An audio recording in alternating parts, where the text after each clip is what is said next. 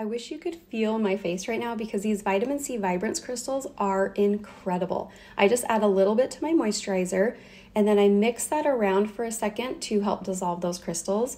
And then as I'm applying it to my face and really massaging into my skin, those crystals will continue to dissolve.